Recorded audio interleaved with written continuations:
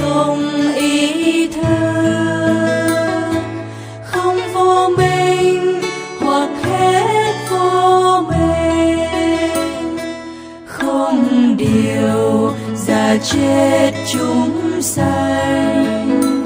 Hết già hết chết, thực tình cũng không. Không trí huệ cũng không chứng đắc.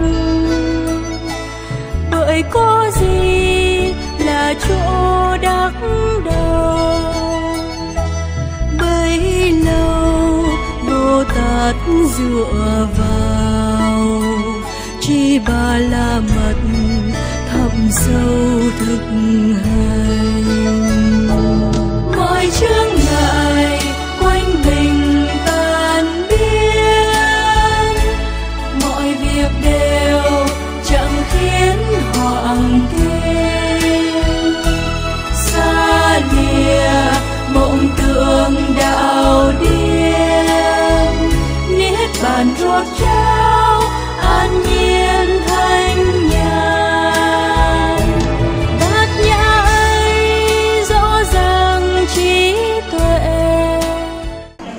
ca mâu bổn sư thích ca mâu ni phật.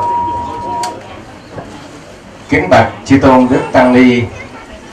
Kính bạch thượng tọa giảng sư. Kính thưa tất cả quý đồng hương phật tử, hôm nay là ngày 15 tháng 11 năm 2015 nhân chuyến hoàng pháp tại úc châu đáp lời thỉnh cầu của tu viện tường quang thượng tọa giảng sư đã nhận lời và hôm nay vào giờ này đang hiện tọa nơi đạo tràng tu viện Tường Quang. Xin tất cả đại chúng quan hỷ cho một tràng pháo tay để kinh linh thượng tọa. Thưa quý vị, chắc có lẽ chúng tôi không nhất thiết phải giới thiệu nhiều về thượng tọa giảng sư bởi vì à, quý vị có thể sẽ biết rõ hơn và biết à, qua những trang mạng hình ảnh à, và kể cả những băng đĩa. Thì những băng đĩa hôm nay hiện tỏ trước mặt quý vị là những là một người bằng xương bằng thịt mà quý vị đã gặp qua mấy ngày nay. Chúng tôi không tiện phải giới thiệu dài dòng. Để cho cái chương trình thời gian nó có một cái giới hạn chúng tôi xin thông qua vài lời trước khi cung thỉnh thượng tọa giảng sư bố thí trong bài pháp hôm nay kính thưa quý vị, chúng tôi thiết nghĩ người xưa khi muốn tìm cầu học đạo, học một bài kinh, nghe một câu pháp, họ đi tìm cầu bằng với một cái tâm thành chí nguyện, băng rừng vượt núi với một sự tha thiết đó, cho nên họ đến với đạo rất là nhanh chóng và sự tu tập của họ thành công cũng rất là lớn. Tuy nhiên, trong thời đại ngày hôm nay, ai cũng biết rằng thời đại đã chuyển mình theo một cái góc độ từ nông nghiệp sang công nghiệp, rồi công nghiệp sang qua công nghệ thông tin. Cho nên chính vì vậy cái sự cầu đạo nó không còn như là một cái hình thức như xưa nữa. Cho nên, sự thay đổi này đối với hàng xuất gia của chúng tôi, đó cũng là một sự thách thức rất là lớn. Cho nên chính vì vậy bây giờ đối với hàng xuất gia là sự dấn thân, chứ không còn là vong thân. Do đó sự truyền bá đạo Phật bây giờ xin thưa rằng, không gói gọn ở bất cứ một đạo tràng hay một tu viện nào, mà bất cứ một góc độ nào, nơi nào chúng sanh cần thì đi đến, nơi nào đạo pháp cần thì đi. Đó cũng là một cách hành bồ tát đạo của giới xuất gia. Bởi vì đối với những hàng xuất gia chúng tôi là những người sứ giả của Như Lai để muốn đem đạo Phật đi vào cuộc đời cho mọi người thấy ánh sáng của Phật pháp và ứng dụng cái lời dạy của Phật đi vào cái cuộc sống để chuyển hóa thân tâm. Chúng ta ai cũng biết rằng cuộc đời rất cần ánh sáng. Ánh sáng không phải từ ngọn đèn, từ trăng sao hay là từ mặt trời, mà từ trái tim và hạnh nguyện của người hoàng pháp.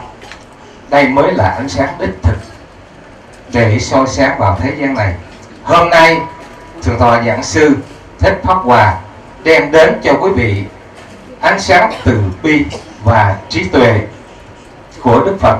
Mong rằng ít nhiều gì quý vị cũng lãnh hội được để ứng dụng vào cái cuộc sống tu tập của mình trong mỗi ngày, mỗi phút, mỗi giây.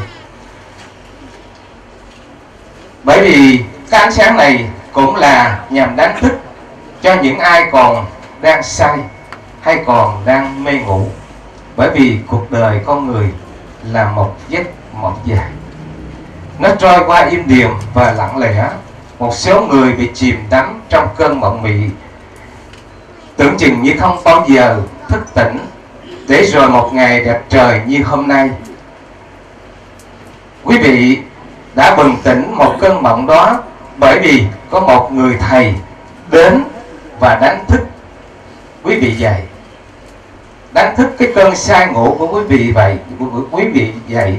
Người thầy đó chính là thượng tọa thích pháp hòa.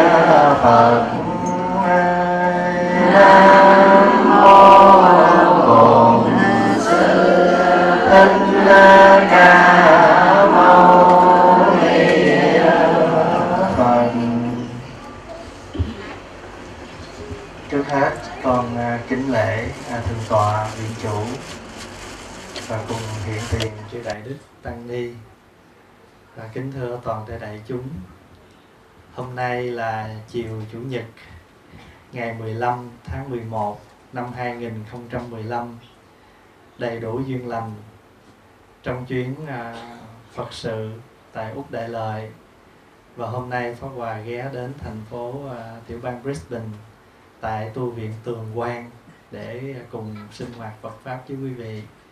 Chiều nay đại chúng có khỏe không? Dạ khỏe. Quý vị ngồi dưới đó được không? Dạ. À, không được thì cũng ráng chịu. À, thưa đại chúng, à, Pháp Hòa rất vui à, được gặp quý vị. À, đây là buổi nói chuyện thứ hai của ngày hôm nay.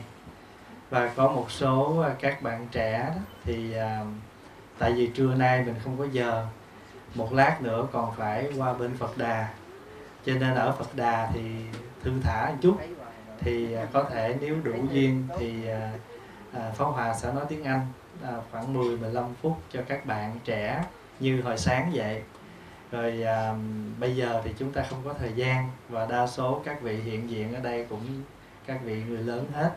Cho nên à, cho phép Pháp Hòa à, miễn cái phần này để mình đi sinh hoạt à, vào những cái việc của mình. Vì chúng ta chỉ có một giờ đồng hồ chút xíu à, còn phải qua Phật Đà để à, có buổi sinh hoạt à, à, cuối của ngày hôm nay.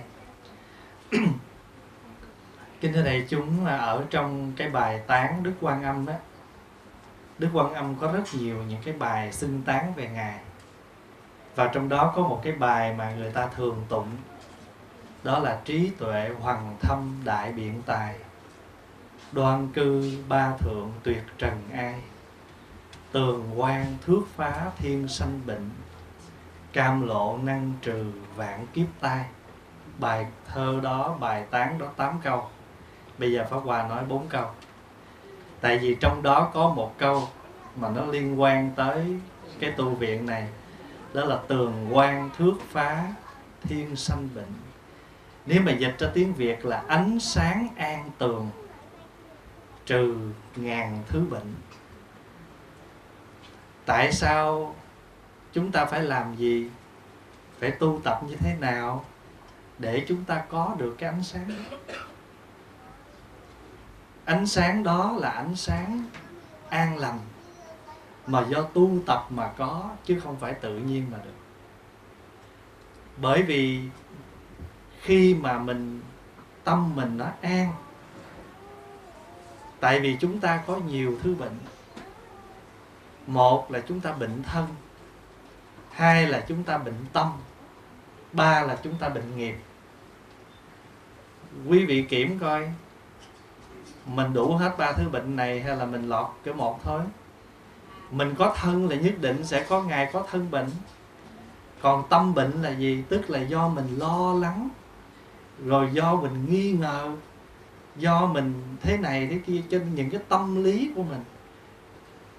Nó làm cho mình bệnh. Thí dụ như mình có một cái việc gì mình phải lo, cái tự nhiên người mình nó không bình thường. Rồi mình trong nhà mình mình nghi ngờ một người thân của mình. Rồi thì mình cũng không bình thường. Cho nên chính cái tâm bệnh, rồi nó liên hệ, mà hễ cái người mà có tâm bệnh á, thì nó làm cho tâm hồn của mình không có được an ổn. Để đồ đâu quên đó, chuyện gì nói rồi quên đó. Nhiều khi mình ăn mà mình cũng không biết ngon, tại vì mình có nhiều cái chuyện ở trong lòng của mình còn cái bệnh nghiệp tức là do những cái những cái mà chúng ta từ quá khứ dẫn tới bây giờ. Mà bệnh nghiệp á, thì không có thuốc chỉ có thuốc của Phật thôi. Tức là phải sám hối mới hết nghiệp phải tạo phước mới hết nghiệp. À, chứ còn bình thường bệnh thân uống thuốc hết. Tâm lý lấy bệnh tâm lấy tâm lý trị bệnh nghiệp thì phải nhờ pháp phật. Cho nên mình làm sao mỗi ngày mình nhận ra căn bệnh của mình để chúng ta có được ánh sáng an tường, gọi là tường quan phải không? Đức quan âm đứng ở trên sóng. Đứng ở trên sóng, tuyệt trần ai. Tức là làm cho mọi cái gì nó cũng được lắng động. Và cái ánh sáng của ngài, nó làm cho mình được an ổn. Cho nên mình cũng tỏa ra được ánh sáng đó. Hôm nào tâm hồn mình an tịnh, thì mình sẽ nhận ra, người ta nhận ra ánh sáng đó. Trời, bữa nay nhìn chị khỏe, tươi, sáng ra đó. Còn hôm nào mà mình nhiều cái thứ lo lắng trong lòng thì người mình nhìn nó không tươi, ánh sáng mình nó lu mờ. Vì vậy cho nên mình tu tập á để làm sao mình có thể mình nhận ra? Một á, là mình biết tất cả các pháp. Nó chỉ là huyễn, nó chỉ là tạm cho nên mình xả dễ. Thứ nhất là mình phải thí xả. Đó, mình phải xả từ ở ngoài, xả tới bên trong. Tại sao mình không buông xả được? Tại vì mình chấp. Mình muốn ai cũng phải đúng ý mình mà mình chưa hề đúng ý ai. Sở dĩ nguyên do khổ là tại vì mình chấp thôi. Chấp thì có hai loại, một là chấp mình, gọi là chấp ngã. Hai, chấp pháp là chấp việc. Thí dụ như bây giờ mình nói, ví dụ bây giờ mình lên mâm cơm mình ăn, thì ở ở đây mình là sắp xếp à, chén, đũa, muỗng như thế này là phải mình mới gọi là đúng mà người khác tới người ta dời, người ta đổi đi cái là mình cho là sai. Mà mình đâu có biết rằng tất cả mọi sự việc nó có mình định như vậy, nhưng mà rất có thể là do hoàn cảnh, do một vấn đề nào đó, chúng ta cần phải được khoán chuyển thay đổi. Hiểu như vậy cho nên chúng ta xả được các cái pháp. Pháp đó là những cái những cái việc làm, những cái gì mà trong cuộc sống hàng ngày nó xảy ra. Hiện tượng sự việc là chấp pháp còn chấp ngã là chấp mình. Tôi tôi làm cái chuyện này lâu lắm rồi tôi ở đây mấy chục năm rồi chuyện này là tôi rành. Nhưng mà lúc nào mình cũng lấy cái tôi ra mình mình ứng xử mà mình không có biết linh động. Có những cái cần có tôi mà cái những cái tôi không cần. À, thí dụ như có những cái mình cần có mặt và có những cái không cần có mặt. Xả được như vậy xả xả được bản thân mình mình cho mình là ơn xả được sự việc mình làm, xả được cái đó thì tự nhiên mình an lạc. Cho nên, tại sao chúng ta khổ? Thật sự ra khổ nó nó không phải tự nó tới với mình, tự mình chiêu nó thôi. Tự mình chiêu nó và có những người người ta ở trong cảnh đó nhưng mà ta không có khổ, tại vì người ta biết nó rồi. Ví dụ như là cuộc đời này, con người của chúng ta đây, có thay đổi không? Có. Tại vì mình có thân. Mà có thân thì mình phải già theo năm tháng. Rồi mình phải bệnh đau đủ thứ. Rồi có tiền thì mình phải có mình đi làm có tiền thì phải xài cho nên nó kêu là tiền bạc. Mình có xe thì nó phải hư cho nên kêu xe cộ. Mình có máy thì có ngày nó phải hư kêu máy móc. Đó, mình có tàu mình lái thì có ngày nó phải hư kêu tàu bè. Tàu thì phải bè máy thì phải móc xe thì phải cộ tiền thì phải bạc không có cái gì mà nó ở trụ chỗ hết. Cái đó là cái thường. Cái thay đổi đó rất thường. Mà nếu chúng ta nhận ra cái thường đó, thì chúng ta có niết bàn. Niết bàn không phải đợi tới chết mới sanh về niết bàn. Niết bàn không phải đợi tới chết. Niết bàn là một trạng thái của tâm. Cho nên khi mà người ta nói rằng á, cầu chúc cho hương linh sớm về cõi niết bàn thì mình nghĩ rằng á người đó chết đi rồi có một cái chỗ nào đó tên là niết bàn. Mà thiệt sự ra niết bàn không có chỗ. Niết bàn là khi tâm mình nhận ra tất cả sự thật của các pháp. Các pháp á, là thay đổi. Chính mình thấy nó thay đổi cho nên tâm mình thường. Mà chính mình thường được như vậy là một bản chất của niết bàn. Niết bàn là vui ví dụ như mình uống nước lạnh thì nó phải lạc. À, mình ăn chè thì phải ngọt nhưng mà ít khi nào mà mình hài lòng lắm. Chè gì mà ngọt quá. Nước gì lạc nhách uống nước chanh sao chua lè. Cho nên lúc nào mình cũng không có được hài lòng với những cái mà chúng ta đang có. Cho nên chúng ta cũng mất điên phần của niết bàn.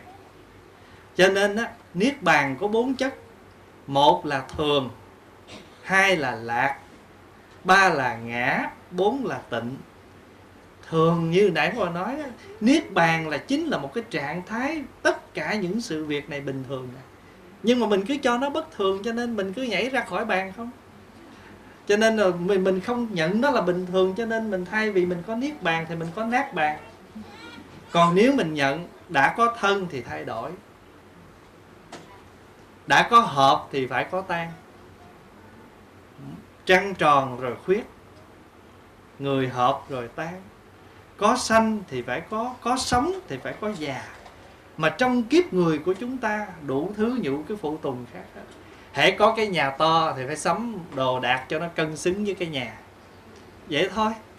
À, mà hễ mà có cái nhà nhỏ thì phải kiếm cái gì nó cân xứng với nhà nhỏ. Mình đi xe đẹp để được ta khen trời ơi anh đi xe sang quá. Thì tiền bảo hiểm nó cũng cao theo đó rồi hàng tháng mình phải đi làm nhiều mình trả cho nó đủ với cái tiền đó. Nếu những cái đó mình nhận được đó là thường đó là một dạng của niết bàn. Thích đi xe đẹp mà tới tháng thì rầu. À, cho nên niết bàn là gì? Là thường giữ tất cả mọi việc trước tâm bình thường. Mỗi ngày mình ăn cơm đói bụng thì mình ăn. Khát nước thì mình uống rồi giữ thời khóa tu tập điều đặn, đó là thường mà thường được dạy lạc, niết bàn. Lạc là vui, niết bàn là vui. Cái gì mà nó không vui thì nó chưa phải là niết bàn mà nó thuộc phiền não. Chữ vui đây là không có phải là lúc nào cũng nhăn răng ra mình cười để chứng tỏ mình vui, không. Mình cứ giữ trạng thái tâm mình bình an. Việc gì nó đến mình cũng nhẹ nhàng để mình tiếp xử, mình ứng vào cái đó gọi là niết bàn. Chữ ngã là gì? Chữ ngã trong trường hợp của chữ niết bàn không có nghĩa là cái tôi, mà sự tự tại. Niết bàn là tự tại, chứ gọi là ngã. Ví dụ như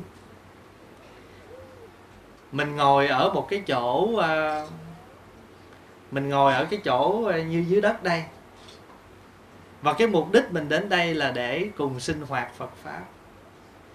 Nhưng mà bây giờ ở nơi này, hoàn cảnh này nó chỉ có một vậy thôi chứ nó không hơn được nữa. Nếu mình muốn hơn được nữa thì mình khổ. Mà mình bằng lòng với cái chỗ mình đang ngồi, so với những nơi khác ta còn chật hơn nữa, thì ngay nơi này mình có có lạc có ngã. Ngã là tự tự tại. Ngã là sự bằng lòng, sự tự tại với mọi cái hoàn cảnh mà khi mình có được cái đó, tâm mình nó lặng xuống. Cho nên niết bàn là gì? Là thường lạc ngã tịnh. Đó là bốn chất của niết bàn. Người sống được với tự tại với mọi hoàn cảnh. Tự tại nó khác với tự do. Khi người ta trói mình mình có cảm nhận là người ta trói mình, người ta không cho mình tự do, thì mình phải tranh đấu đòi hỏi cho tự do còn nếu mình tự tại, tức là có thể đang ở trong hoàn cảnh khổ, nhưng mà tâm mình tự tại. Ví dụ, mình bệnh bệnh nan y. Mà bệnh nan y là chịu rồi. Bây giờ là mình vẫn phải chữa trị. Nhưng mà tâm mình tự tại, mình biết rằng một khi mình có bệnh thì phải chữa. Mà chữa không hết thì mình mình đi niết bàn có ai mà chữa bệnh mà mà cho dù có hết cũng cũng hết tạm. Thôi bởi vì bản chất của cuộc đời này là sống già bệnh chết. Nhưng mà không thể nói thôi, trước sau cũng chết thôi, khỏi uống thuốc. Nói như vậy cũng không được. Bệnh là phải uống thuốc, phải chữa bệnh. Nhưng mà mình vẫn an lạc với tất cả. Nếu đủ duyên, hết bệnh, tốt, sống tiếp, tu nữa. Còn nếu như mà mình chạy chữa tất cả mà mình vẫn không hết thì mình vẫn tự tại được với cái sống chết cõi đời. Mà mình trước khi mình biết, quý vị thấy ở đây á, mình sướng á, là khi mình bệnh mình được bác sĩ cho biết. Rồi có nhiều người bệnh là bác sĩ còn cho biết mấy tháng nữa. Đúng với cái bài mình tụng không? Cầu cho con thác biết ngày, biết giờ, biết khắc, biết rài tánh linh. Vậy là ứng hợp với mình muốn rồi vậy mà người ta cho mình biết hết trơn, cái mình lo mình rầu. À không? Cầu cho con thác biết ngày mà. Mình cho mình nguyện cho mình. Con nguyện lâm chung không chướng ngại. A di đà đến rước từ xa. Như vậy nếu như mình hiểu, thân thể có thể có bệnh, nhưng mà tâm của mình vẫn bình an với nó. Cái đó gọi là tự tại, mà cái đó là ngã. Ngã là sự tự tại. Mà tự tại được thì mình niết bàn gọi là ngã. Có một vị hòa thượng ở trong tù. Ngài không được người ta cho mang dao, cạo tóc vào trong tù để mà cạo râu, cạo tóc. Thì râu tóc ngài mọc dài ra. Và bây giờ quý vị thấy sự tự tại của người tu đây. Ngài làm bài thơ. Trên đời quý nhất có bộ râu. Khi buồn ta vuốt để giải sầu râu ta nào phải đâu râu cọp, khi buồn ta vuốt có sao đâu. Quý vị thấy cái tự tại không? Đó là sự tự tại. Tự tại, tự tự tại nghĩa là tâm mình chấp nhận. Còn tự do tức là mình có cảm giác là người ta trói mình, người ta hà khắc mình. Cho nên có một vị đệ tử tới xin thầy hãy giải thoát cho con thì người thầy xoay qua hỏi ai trói ông? Nói dạ không ai trói con hết. Vậy thì ông đòi giải thoát cái gì? Tự mình thôi. Ví dụ người ta là bây giờ ví dụ bây giờ cái cô đây ngồi ngay trước mặt đây và cô nói trời ơi ai mà để cái cái, cái cây này thiệt là kỳ cục.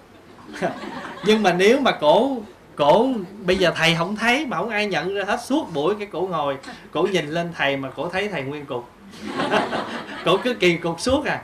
Nhưng mà nếu cổ con ngồi có tự tại của nó, bây giờ mục đích là mình nghe pháp. Còn cái gì nó cản trở không thấy. Bây giờ cái cục này so ra ở đây với cái chậu này ở đây cái nào hơn? Cái chậu này nó hơn hẳn. Mà cái người ngồi đây tao không nói gì hết, mà người ngồi đây có một chút gì cứ lao hoài.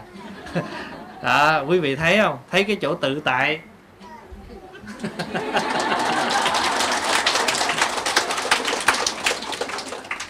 cho nên trong này có một câu hỏi là niết bàn là gì? Niết bàn có phải là cái cõi không? Niết bàn không phải là cõi. Niết bàn là sự vắng lặng của tất cả mọi cái sống phiền muộn. Mà mình sống được như vậy thì tự nhiên cái ánh sáng an tường của mình nó đi ra chứ có gì đâu. Người ta nhìn mình, người ta vẫn thấy được sự nhẹ nhàng của mình cho quý vị để ý người nào mà trong lúc hấp tấp lo lắng phiền muộn sắc mặt khác không? À, tướng đi khác không? Đi đi mặc áo dài đáng lý phải đi tha thước không? Còn áo dài mà săn lên chạy không à? Lo lắng. Cho nên các vị hòa thượng khi mà đi tu rồi quý ngài có mất đó, chúng ta thường dùng cái chữ là viên tịch. Thay vì chúng ta nói theo thế gian là qua đời chết mất từ trần, nhiều chữ lắm. Nhưng mà đối với các vị xuất gia thì chúng ta dùng cái từ là viên tịch. Chữ viên là gì? Là viên mãn tròn đầy. Tịch là vắng lặng. Tức là quý ngài xưa nay vẫn an trụ trong cái vắng lặng, nhưng hôm nay quý ngài đã vĩnh viễn ở trong cái chỗ vắng lặng yên tịch đó. Ý muốn nói mất đó, nhưng mà mình nói một cái từ để mình biểu lộ rằng cái sự cung kính và nói lên cái trạng thái tu của quý ngài thôi. Cho nên dùng chữ viên tịch. Viên tịch tức là cầu chúc cho mình đến cái chỗ vắng lặng viên tròn. Lỡ mai mốt ai gặp mình ta chúc mình nói cầu chúc cho anh cho chị sớm viên tịch. Cái mình nói trời ơi, sao trời sao trù tôi? Cái đó không có trù cái đó là chúc. Ai tu mà không muốn tới cái chỗ mà tâm của mình được cái chỗ đến cái chỗ vắng lặng yên tĩnh hoàn toàn phải không? Cho nên cái đó không có gì mà trù hết. Cái đó là một trạng thái. Ta gặp mình ta nói, thí dụ quý vị chúc ngay chúc cho thầy luôn luôn có niết bàn. Hay là chúc cho đạo hữu luôn luôn có niết bàn. Tức là đạo hữu luôn luôn sống trong trạng thái của bình an. Không có phiền muộn. Chữ niết bàn đó là tiếng phạn.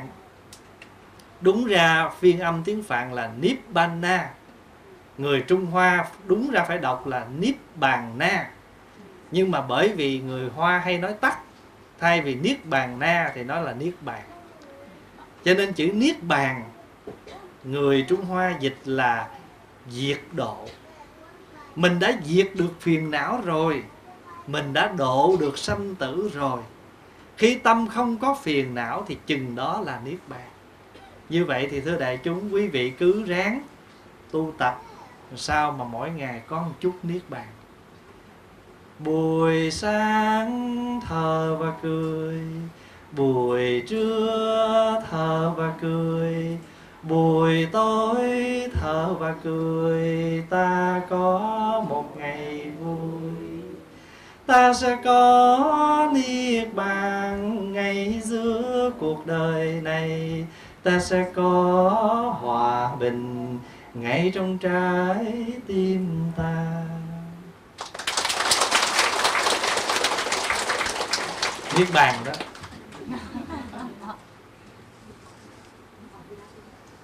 Xin thầy giảng về tánh không trong phật pháp. Trước hết mình định nghĩa chữ không. Ở trong bát nhã tâm kinh mình tụng nó nhiều chữ không trong đó. Không sắc thanh hương vị xuất pháp gì đó. À, ngũ quẩn giai không được vậy rồi đạo phật thấy gì, nói gì cũng không hết. Vậy thì phật tử mình hiểu làm sao cho đúng với chữ không? Chữ không mà nhà phật muốn nói, không có nghĩa là không có gì hết. Không có nghĩa là totally nothing. Mà cái chữ không trong nhà phật muốn nói đây là không thật có, not real. Ví dụ cái bình hoa, quý vị thấy nó đẹp không? Nó có đây mà. Nhưng mà với cái nhìn tuệ giác của bác nhã, chúng ta nói bình hoa này là không. Tại sao không? Bởi vì nó nhiều cái hoa nó gom lại để gọi là bình hoa. Rồi bây giờ ngắt một cái hoa riêng lẻ, hỏi hoa này hoa gì? Nói hoa này là hoa cúc. Nó đâu có tự xưng nó tên cúc đâu. Mình tự đặt nó một cái tên cúc mà. Rồi bắt đầu cúc, bây giờ nhiều cúc quá, cúc gì? Cúc đại đó cúc tím, cúc hồng mình đặt ra. Rồi bây giờ ngắt từng cánh ra hỏi nãy gì? Cánh hoa chứ không gọi là cúc.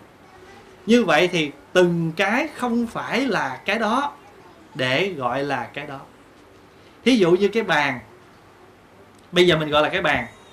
Bây giờ mình lấy búa mình dỗ ra.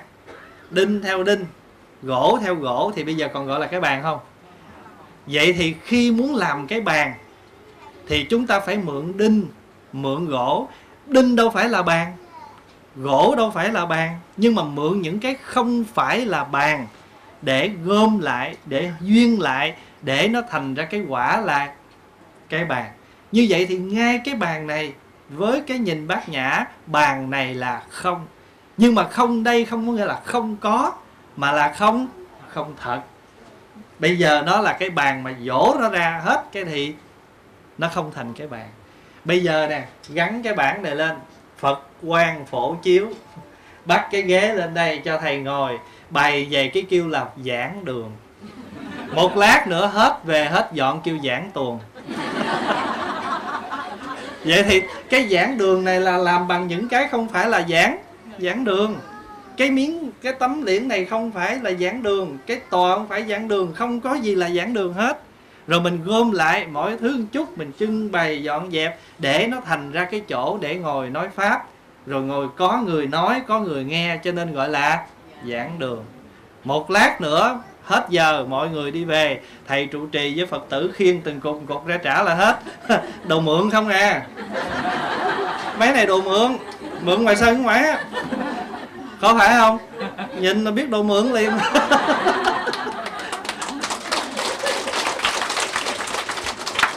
Quý vị hiểu chữ không không? Chữ không là not real. Nhưng mà có không? Có. Mà cái có này đạo phật gọi là gì? Diệu hữu. Diệu hữu là có một cách rất màu nhiệm. Miracle. Miracle. Nhưng mà cái có này nó tạm thôi pháp hòa ví dụ ha. Pháp hòa không ngờ là pháp hòa đang ở úc. Sự có mặt của hòa ở úc là miracle. Tại vì sao? Mình có mình, rồi có sức khỏe, rồi có phương tiện, thời gian để đi, rồi có máy bay để đi. Nói chung là nhiều duyên nó hợp lại để pháp hòa có mặt ở đây trên nước úc này trong 3 tuần. Vậy thì pháp hòa có đây á, là tạm có rồi xong rồi á thì ba sau 3 tuần là pháo hoa không có đây nữa. Vậy thì cái có bây giờ là gì? Là diệu hữu. Mà cái có này cũng chỉ là không. Nói nhiều thứ lắm. Bây giờ mình nói điện. Tại vì có bóng đèn, có năng lực của điện, phát ra ánh sáng mình coi đèn. Bây giờ nếu cái đèn này mà nó nó nó nó còn đây nhưng mà điện không có thì mình cũng không thấy ánh sáng. Quý vị thấy hư không? Không có gì hết. Quý vị kêu hư không? Bây giờ mình lấy cái radio mình ghim vô đây, ghim điện vô. Mình bắt thì bao nhiêu là đài mà không hề có một sợi dây nào nối vô nữa. Vậy thì trong hư không này có không? Có bao nhiêu là tầng sóng? Có bao nhiêu tầng mà mình có thấy không? Mà khi không này mình có dám nói là thô thu lì không không? Không nó có mà có diệu diệu hữu. Mà hãy, nó bắt đúng thì nó phát ra tiếng. Mà cái tiếng đó, từ cái gì? Từ những cái làn sóng điện lực, vân vân, để chúng ta có. Như vậy thì nhìn trong cái thân của con người, vẫn thấy được cái bản chất không của con người. Cái thân này, mình cũng mượn thôi. Mượn đất, nước, gió, lửa, mỗi ngày cái thân này mình còn sống được là mượn chứ không phải của mình. Đồ mượn không à. Thí dụ như mình mượn cái áo tròn lên kêu thầy. Mà bây giờ cái người nào đó không phải là là thầy thì ta mặc cái áo khác. Vậy thì cái áo này, rồi bây giờ quý vị thấy mình đói bụng, mình mượn một chén cơm. Hai tiếng sau trả. Mình khát nước, mượn ly nước. Hai tiếng sau trả. Đất này cũng mượn nước này cũng mượn về gió nè, hít vô, mượn, thở ra, trả, mượn trả mượn, trả. Mà một ngày nữa nó nói thôi, hết hợp đồng rồi. Bây giờ chỉ ký cái contract cuối cùng cho mượn. Hay là trả rồi là không cho mượn nữa thì sao? Chết như vậy rõ ràng, cái hơi thở của mình đang sống hàng ngày đấy là mượn. Chưa có một hơi thở nào mình giữ luôn mà mà hiểu được như vậy, để làm chi? Đâu phải hiểu để rồi mình đi đấu lý. Đâu phải hiểu như vậy để rồi mình đi thuyết pháp chợ đen. Hiểu như vậy để mình sống an lạc và mình biết xả đó. Hồi nãy có người hỏi làm sao để xả? Hiểu đời tất cả là không, thì còn gì vướng bận trong lòng ta đây? Nếu mình thấy được tất cả là không hoa rơi, hoa lạc, thọ vô can. Vân khứ, vân lai, thiên bổn tịnh. Mây tụ, mây đi, trời vẫn sáng trong. Hoa có rụng hay là hoa ở trên cái cành đó, nhưng mà cây nó vẫn bình an, nó đứng đó. Phải không? Vân khứ, vân lai, thiên bổn tịnh. Vân đến, vân đi, trời vẫn sáng trong hoa khai là hoa nở, hoa lạc là hoa rụng. Nhưng mà mấy cái đó, cây nó vẫn đứng vậy thôi. Mấy anh kia cứ tác động, cứ đến, cứ đi, cây vẫn vững. Tâm mình cũng vậy. Mà mình vững được như vậy, không có nghĩa là mình thờ ơ trước thế sự. Nhưng mà mình hiểu thế sự, cho nên mình bình an với thế sự. Việc đến đi của đời, đó là như vậy. Chứ còn người thân mình mất, buồn chứ nhưng mà mình không có khổ như là mình chưa hiểu đạo. Mà bây giờ mình biết rằng người thân mình có đi, cũng chỉ là đi vậy thôi. Nhưng mà vẫn còn lưu lại với những người thân của mình, những lời dạy, những nụ cười và dòng máu của ông bà đang luôn lưu trong con cháu. Cho nên có mất đâu. Đó, cho nên mình hiểu cái chữ không. Để mình sống một cuộc đời không có chấp nhiều khi mình học không xong rồi bây giờ hết chấp có, bây giờ cái gì? Chấp không. Thí dụ như hồi xưa chấp có nha. Có thân, có nhà, có cửa, có vợ, có con, gì cũng có hết. Cái tới hồi học không không con, không vợ, không tiền, không tình, cái gì cũng không hết, cũng không được. Phải không? Chấp không, chấp có rầy rà. Đến khi không chấp mới hòa thuận nhau. tức là mình làm sao mà mình hiểu? À có thì hưởng cho nên có nhiều vị người ta tập người ta không có để cho người ta ghiền. Thí dụ à, ai mời người ta ly cà phê người ta cũng uống. Nhưng mà ta không có bắt buộc là phải uống cà phê mỗi ngày. Sống được vậy thì quý vị thấy nó có khỏe hơn là mình ghiền chút không thật ra ghiền cũng chẳng tội gì. Nhưng mà không có thì mình hơi khó chịu một chút vậy đó, đó chứ không tội lỗi gì hết đó. cho nên mình hiểu được cái không. Cho ở đời mà người ta hỏi đó, người tu sĩ có tình yêu không nhỉ? Nếu nói không là những kẻ vô tri. Nếu nói có là những kẻ tình si. Mà có không không có, vậy mới chì.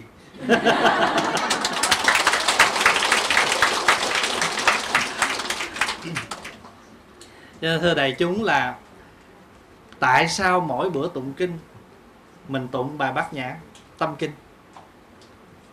Bởi vì tất cả những tinh yếu của đạo phật, những cái trí tuệ nhận về bản chất của cuộc sống, của hiện tượng vũ trụ này, nó nằm trong bát nhã, tâm kinh.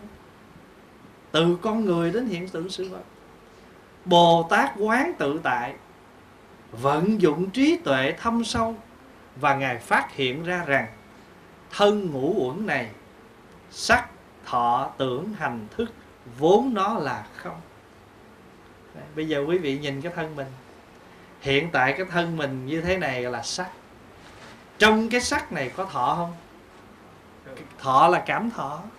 Mừng, vui, nóng, lạnh gì đó. Rồi tưởng, rồi hành, rồi thức, phân biệt. Cho nên những cái đó nó gom lại để nó tạo ra thành một con người đang sống đây có thân và có hoạt động. Nhưng mà thủy chung ngũ uẩn này nó có tồn tại không? Không. Một ngày nào đó đất về với đất. Cho nên hạt bụi nào hóa kiếp thân tôi, để một mai vương hình hai lớn dày. Ôi cát bụi tuyệt vời. Cát bụi bây giờ nó tuyệt vời lắm. Tại vì mình nhận ra rằng thân này là ngũ uẩn, hợp thành nhưng trước khi nó tan rã, mình phải dụng cho nó đúng. Mà mình dụng nó đúng thì nó đâu có uổng. Không có uổng kiếp người mà không uổng cái ngũ uổng này. Hiểu như vậy đó, bát nhã tâm kinh nhắc mình mỗi ngày, tụng tất cả các kinh là lời Phật dạy, nhưng mà cuối cùng phải vận dụng trí tuệ để quán chiếu thâm sâu các pháp thế gian này. Chỉ là đủ duyên thì hợp, hết duyên thì tàn nhưng mà thật sự nói cho đúng là đủ duyên thì hợp, đủ duyên cũng để nó tàn. Thí dụ như mình đủ duyên là đúng giờ 3 giờ gặp mặt. Nói chuyện tiếng đồng hồ 4 giờ, đủ duyên để ra về. Và bây giờ nếu như mà 3 giờ bắt đầu vô ngồi nói nói 15 phút nó chưa hết giờ mà về gì chưa đủ duyên để về.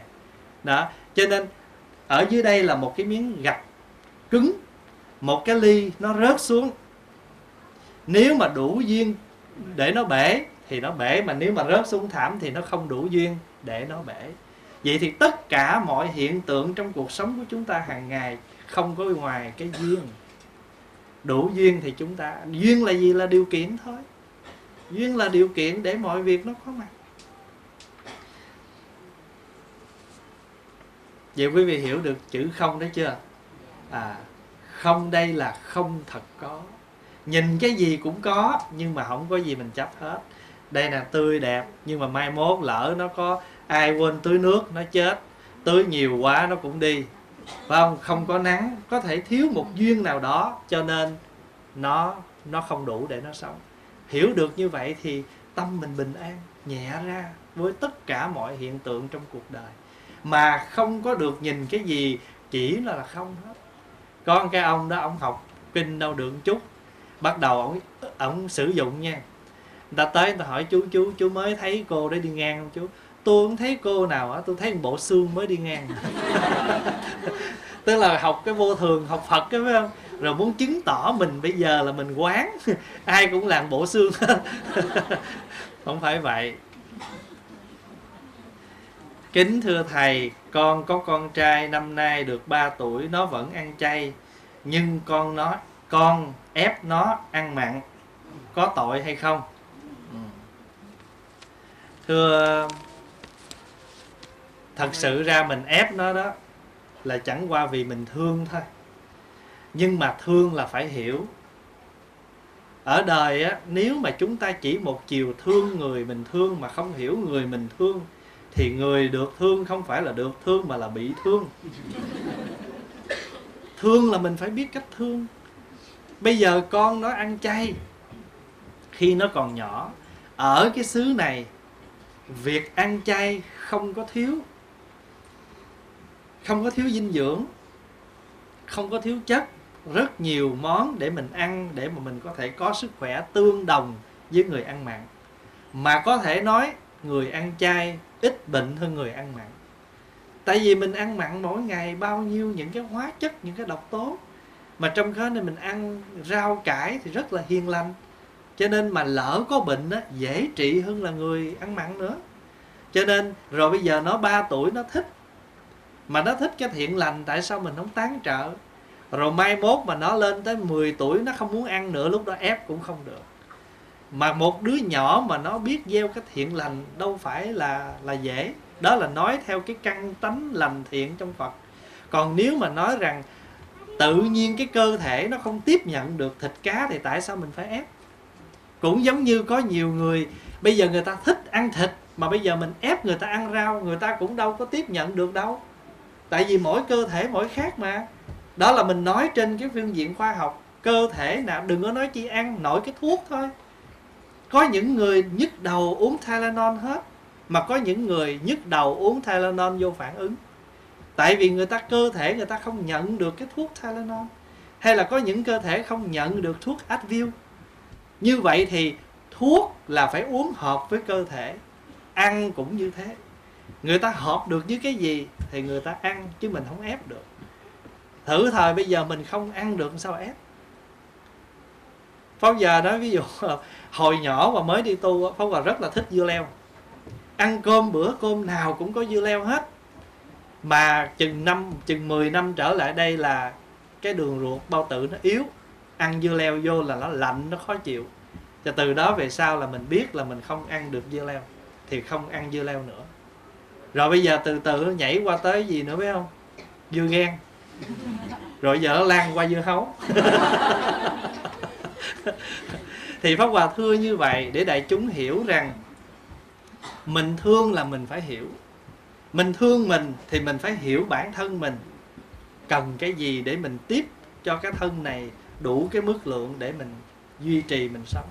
Thôi thì bây giờ đứa con này đứa nhỏ này nói về tinh thần thì nó có thiện căn tốt lành để thích ăn chay cho nên đừng ép. Còn nếu nói về cơ thể và à, bản chất của mỗi người thể chất của mỗi người thì người ta không ăn được mình đừng có ép. Giống như có những đứa con á nó thích đi chùa, nó tu. Và có những cha mẹ sợ sợ nó đi tu. Rồi không có cho nó đi chùa, không cho nó tiếp xúc. Tới hồi nó hư á, bắt đầu dẫn vô chùa gửi. Làm sao chữa được?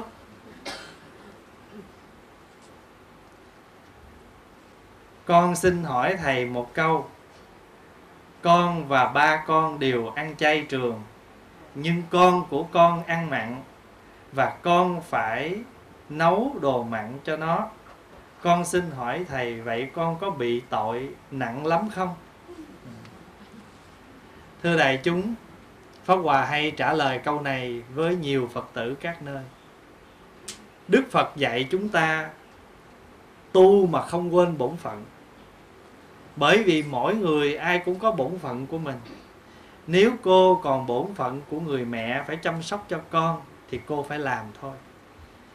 Mình nấu ăn cho con, bởi vì đó là một món ăn của nó mỗi ngày, không có gì tội hết. Thậm chí, mình cần phải nêm nếm cho đàng hoàng cho người thân mình ăn, vì đó là bổn phận của mình. Ví dụ quý vị kho, xong quý vị múc miếng quý vị ném thử. Nếu mà ném mà mình muốn nhả ra thì mình nhả mà thấy ngon quá nuốt luôn cũng được nữa, không có sao hết á không có ai thành phật. Tại vì bỏ răng miếng đó. Mà chúng chẳng có ai đọa địa ngục là tại ăn nhầm miếng thịt.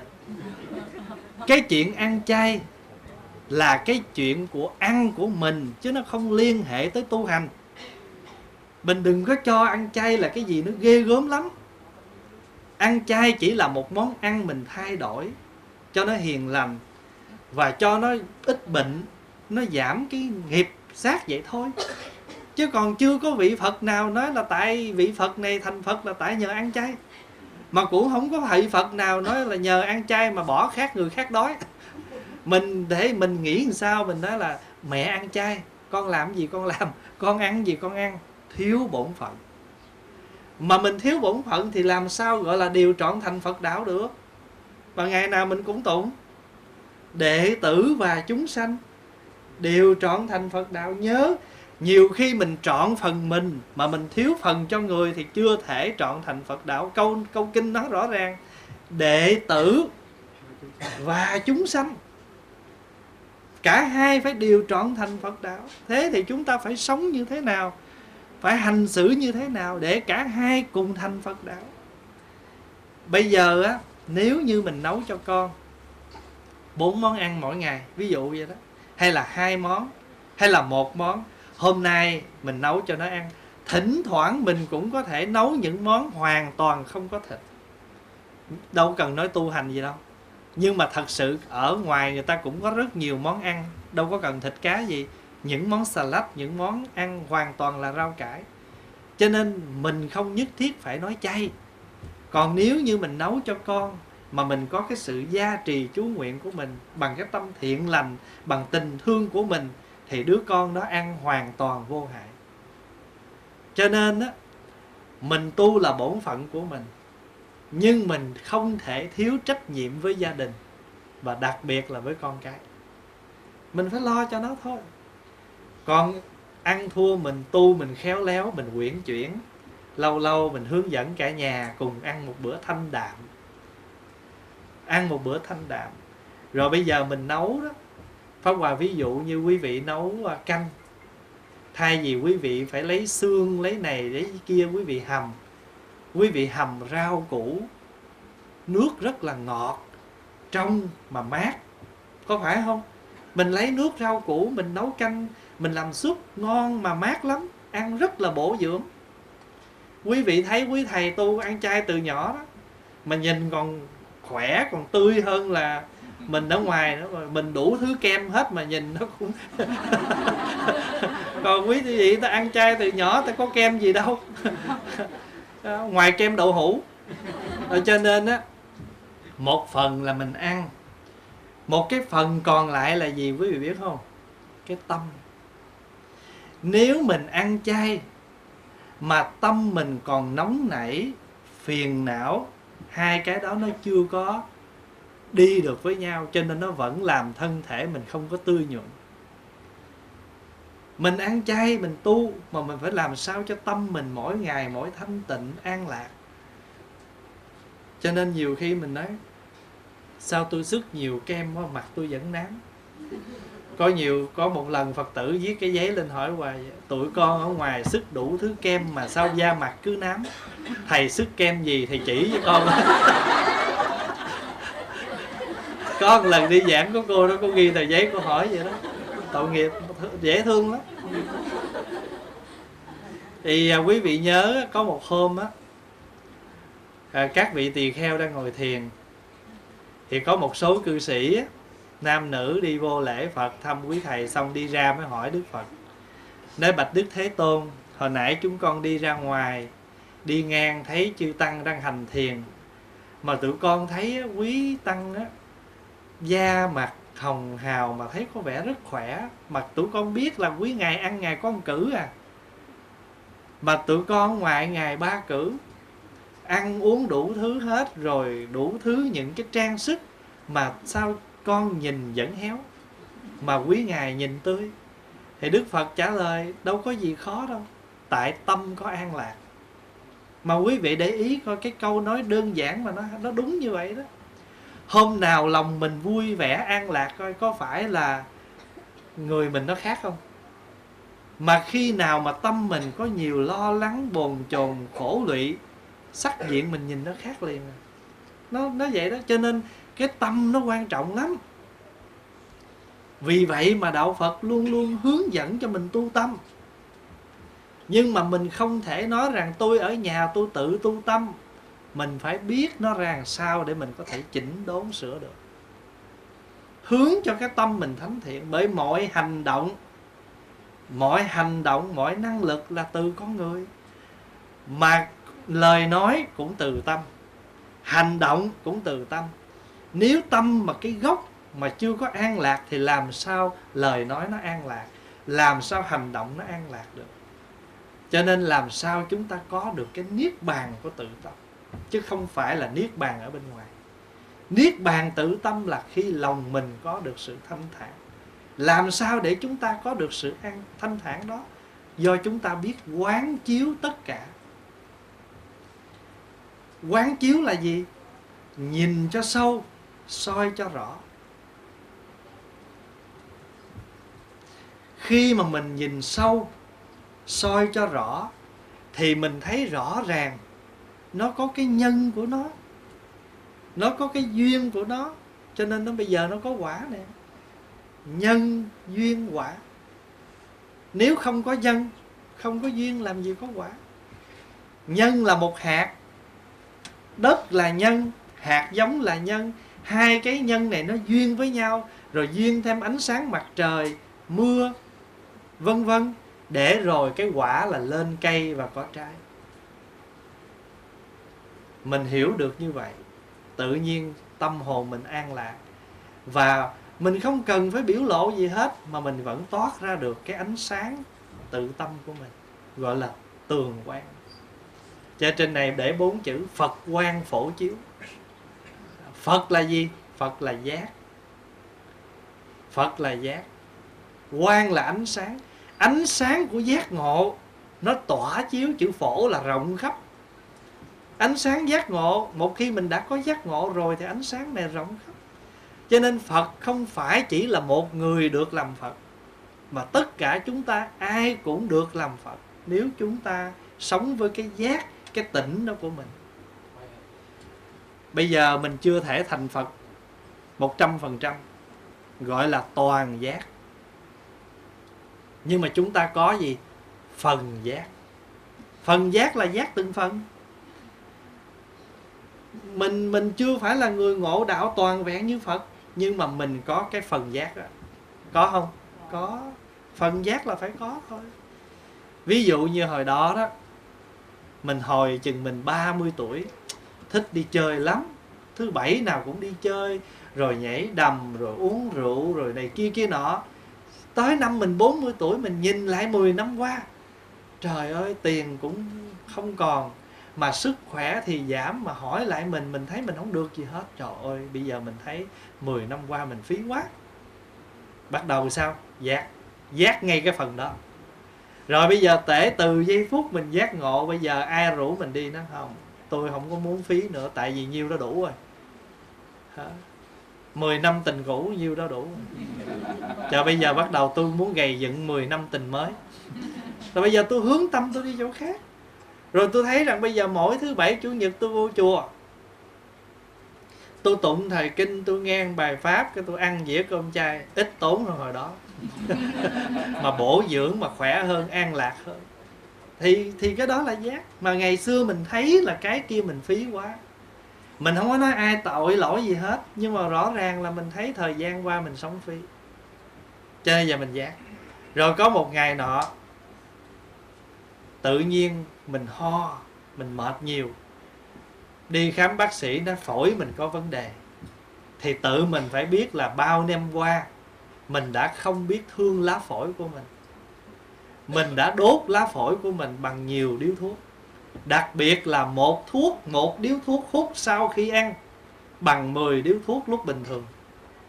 Tại sao? Tại vì khi mình ăn, vô thức ăn thì tất cả những cơ quan trong cơ thể mình nó mở ra để nó tiếp nhận thức ăn, để nó nuôi dưỡng. Thì khi đó mình hít một hơi thuốc vô, nó đi theo những cái cơ quan đó. Bây giờ không phải lá phổi không, mà gan, lá lách đồ, nó cũng sẽ ảnh hưởng cái thuốc, cái khói thuốc đó. Cho nên một điếu thuốc mà hút sau bữa ăn độc bằng 10 điếu thuốc lúc bình thường và mình thấy rõ ràng, dù bình thường mình hút hay là sau khi ăn, bây giờ mình thấy tôi có cái tật đó giờ tôi bỏ được cái tật đó. Mà bỏ được tật đó, tuy tôi còn vẫn hút bình thường, nhưng bỏ được cái thói quen là sau khi ăn mà hút điếu thuốc là tự nhiên cái đó cũng là một phần phần giác. Nhưng mà mình có cái tật, hốt giác, hốt mê. Lúc tỉnh, lúc mê. Ta quyết chí không hút nữa, nhưng mà thề nghe từ đây trở lên không hút nữa. Chỉ đàng hoàng, chỉ từ đây trở lên. Mai mốt à mình có hút nữa, ta nói sao hút nó tôi hứa từ đây mà tôi đâu hứa từ đây đâu. Hứa từ lỗ mũi lên thôi, không hút. Khi mình bỏ hút rồi mà ai rủ lại, mà mình, ý chí mình không kiên cường là mình sẽ hút thuốc trở lại. Mà một khi hút thuốc trở lại, nó ghiền còn hơn nữa.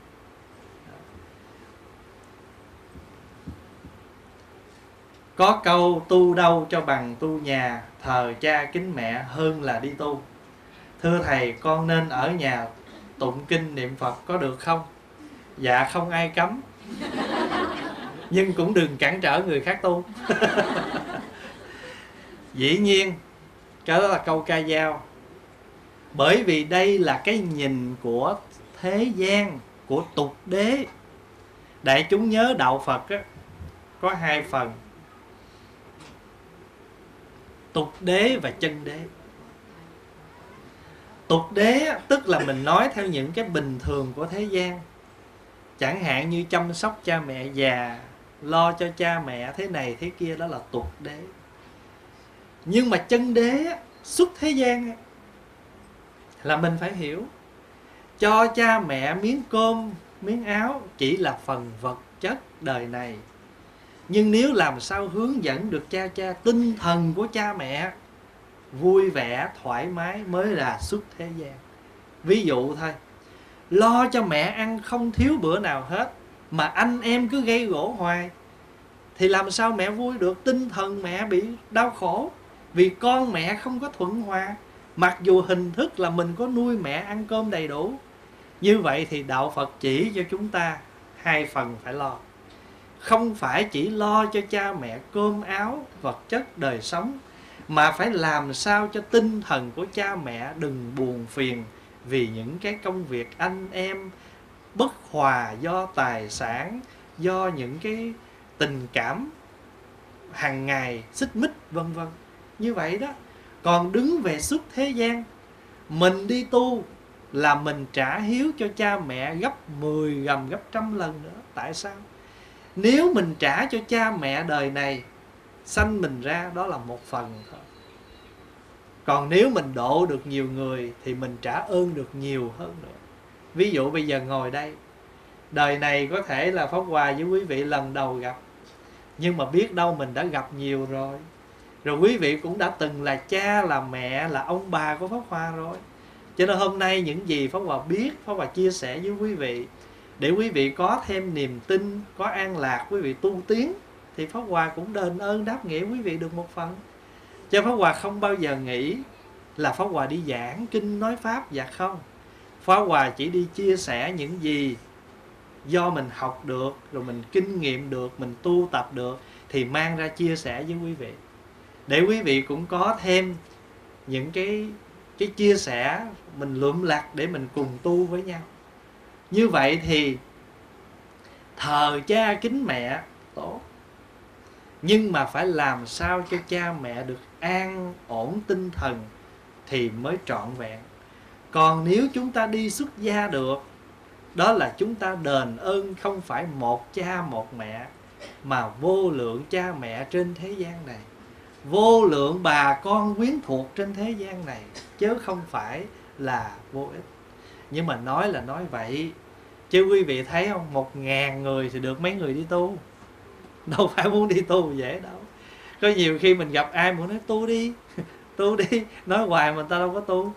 Có nhiều vị đặt câu hỏi nói, quý thầy gặp ai cũng khuyên đi tu, mà lỡ người ta đi tu hết rồi rồi thế gian này lấy gì sống? Có hòa nói, yên tâm chuyện đó. Khuyến thiện nhưng mà không bao giờ ai nghe mình đâu. Nhưng mà cái thiện phải khuyến thiện là phải khuyến giữ là phải khuyên. Thí dụ mình thấy cái người đó xấu quá, dở quá, hư quá, mình khuyên. Khuyên mà, khuyên tức là mình nhắc nhở người đó đừng làm nữa. Còn khuyến là sao? Người đó có mà chưa phát cho mình khuyến.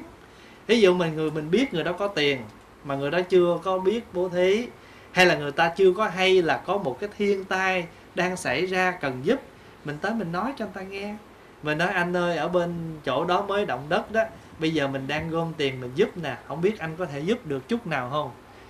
Ta có, nhưng mà ta không biết, mình khuyến cho người ta khởi phát. Còn mình thấy cái người nào mà dở, mình phải khuyên. Cho nên hai chữ khuyên và khuyến. Giữ thì phải khuyên, thiện lành thì phải khuyến khuyến cho phát. Mà nếu chúng ta làm được vậy, thì chúng ta cũng là một phần của sự thuyết pháp độ sanh, gia độ cho người đền ơn cho người bằng cách là làm cho người ta sống trong cuộc đời thánh thiện. Đó mới là cái chân thật của đạo. Cho quý vị đừng có lo là nếu ai ở nhà chăm sóc được cho cha mẹ, thì cố gắng đừng có lo chỉ một phần vật chất, mà phải làm sao cho cha mẹ được vui. Ở trong kinh đức phật còn nói kỹ quý vị nào có rảnh kiếm bài kinh thiện sanh kinh thiện sanh. Đọc kinh thiện sanh rồi đại chúng sẽ thấy phật dạy mình sống rất rất là hay.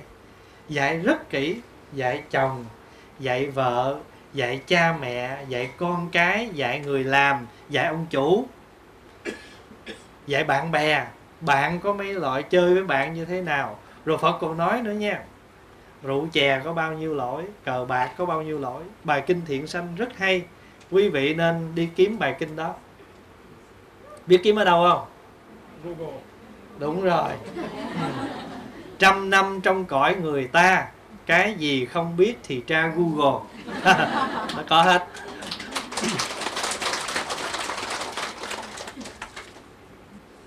Thôi thì hôm nay à, Pháp Hòa được à, về thăm quý vị à, lần đầu tiên nhưng mà thật sự là nhìn xuống là quen dữ lắm. Tại hôm nay à, hôm qua tới giờ đi đâu cũng gặp. À, thưa đại chúng là Pháp Hòa rất là vui vì Pháp Hòa thấy được khi mình là một cái người con Phật với nhau. Dù cho chúng ta đi khắp năm châu bốn biển hễ chỗ nào gặp còn gặp những người con Phật thì cái thân tình nó trang hòa như vậy.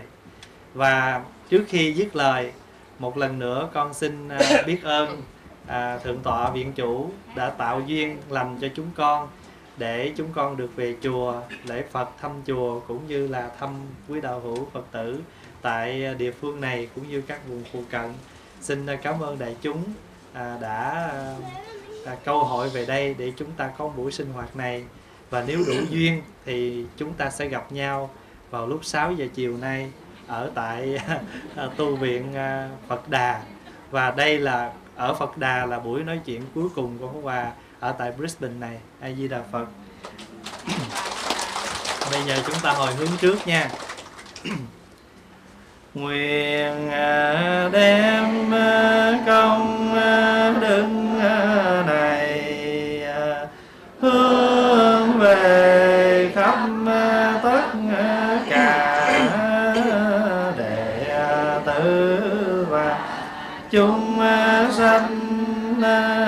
đều trọn thành Phật đạo. Nam mô A Di Đà Phật. À, kính bạch thượng tọa giảng sư. À, kính thưa tất cả đại chúng. À, tất cả quý vị à, hôm nay nãy giờ à, chắc có lẽ nhiều gì cũng lắng nghe những lời bằng ngọc của à, thượng tọa giảng sư thì chúng tôi thiết nghĩ thuốc không luận là mắc hay rẻ. Miễn sao thuốc đó trị hết bệnh là thuốc hay. Phật Pháp không luận là cao hay thấp. Miễn sao đưa người thoát cảnh sanh tử luân hồi, Đó là Pháp diệu. Thì nãy giờ qua những cái bài Pháp, Những câu hỏi Chúng tôi cũng ngồi à, đang uống trà với thượng tọa thiền hữu. Chúng tôi cũng có lắng nghe. Thì những cái bài, những câu hỏi và những lời à, trả lời của thượng tọa giảng sư đã đáp ứng những nhu cầu cần thiết cho quý vị. Giống như à, câu nói đói thì thượng tọa cho ăn khát thì thượng tọa cho uống hôm nay chúng tôi thiết nghĩ ít nhiều gì, quý vị cũng lãnh hội được những cái bài pháp, những câu hỏi mà nó rất gần gũi trong cái cuộc sống đời thường của mình. Mong rằng những cái bài pháp đó đi sâu vào trong tâm của mình để mình cố gắng tu tập, cải thiện trong đời sống, trong mọi hoàn cảnh mà mình đang sống và đang tu. Thì kính bạch thượng tòa, thật là một phúc duyên rất lớn cho tu viện tường quan nói chung, cho phật tử nơi đạo tràng nói riêng. Hôm nay, bước chân của thượng tọa đến đây bỗng nhiên, đạo tràng của tu viện tường quan bỗng nhiên có một cái một cái không khí thay đổi một cách lạ thường. Cứ tưởng chừng như là nó sắp vỡ tung ra cái căn nhà này để nó trở thành một cái ngôi bảo điện. Thì hy vọng rằng trong tương lai, những cái bức tranh của thượng tọa giảm lại miếng đất này một lần nữa, có thể là sẽ thành hiện thực trong một ngôi bảo điện. Hiện bây giờ, mặc dầu duyên chưa đủ, nhưng từng người nó cũng đã đủ, đã nói lên cái sự kết nối nhân duyên. Nhất là trong tình pháp lữ của giới tu sĩ chúng tôi. Cho dù đây là lần đầu tiên chúng tôi cũng được biết thượng tọa thích pháp hòa đến à, hoàng pháp tại úc châu. Đây là lần đầu tiên được diễn kiến trong cái buổi gặp gỡ hôm nay. Thì hy vọng rằng trong tương lai chúng tôi sẽ còn kết nối nhiều nhân duyên khác nữa. Cái vấn đề đặt ra là là chúng tôi bổn phận của chúng tôi là các trách nhiệm là những nhịp cầu nối để giúp đỡ đưa tất cả quý vị trên cái con đường học Phật tu nhân giữa Phật và Pháp mà chúng tôi là nhịp cầu chính giữa đưa cho tất cả quý vị đi qua bên kia à, bên kia bờ giác. Thì thay mặt cho tu viện Tường Quang nơi đây xin cảm niệm tri ân công đức của thượng tọa giảng sư đã đáp lời thỉnh cầu mà à, đem lại cái niềm hoan hỷ tột độ cho Phật tử nơi đạo tràng hiện diện hôm nay. À, hy vọng rằng cái buổi thuyết pháp chiều nay tất cả quý vị đã lãnh hội tất cả những gì mà quý vị đã muốn đã có rồi. Thì à, theo chúng tôi được biết được á, là thượng tọa chỉ còn có một buổi cuối cùng vào lúc 6 giờ chiều nay tại nơi tu viện Phật Đà, sau đó kết thúc cái chặng đường ở tại Brisbane mình. Rồi sau đó tiếp tục là thượng tọa sẽ đi những tiểu bang khác. Như vậy, đó là những cái bước chân mà mỗi khi thượng tọa đến đâu, thì đó là một cái điều gieo nhân duyên đến đó. Mà hay nói theo một cái lý ở trong đạo, thì gọi rằng đạo tràng nó sẽ nở hoa đến đó.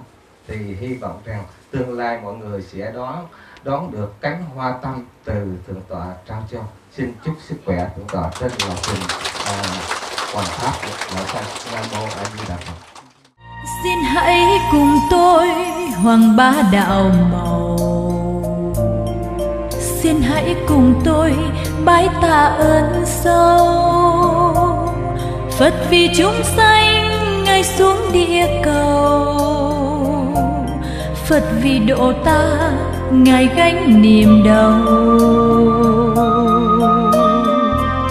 Vô lượng từ tâm, ngài ban pháp màu. Cứu độ đàn con, chìm trong hố sâu dẫn dắt chúng sanh qua bờ bi ngàn. Cho